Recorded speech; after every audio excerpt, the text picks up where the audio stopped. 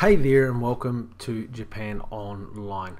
Well, who says there's no crime here in Japan?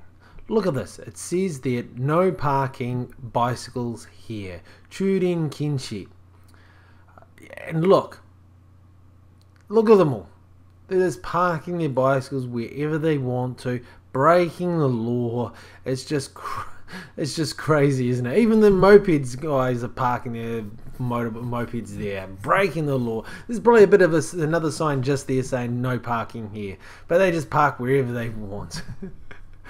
Of course, I'm being sarcastic. You often sort of see this where uh, there may be a sign no parking, but um, usually there's no one there to police it. No one's coming along, you know, yellow sticking, sticking them, sticking them, uh, or doing anything about it. Really, you may get some some places where they do, but usually not. Nothing will happen um, to to these guys. Uh, but yeah, nonetheless, interesting, isn't it?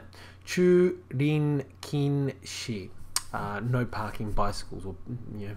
So yeah, just a short little video. Thought you might see that there is crime here in Japan. But anyway, if you haven't clicked on the big red button there, click it and you'll receive updates when we post videos to YouTube. To the left there, there's a couple of videos.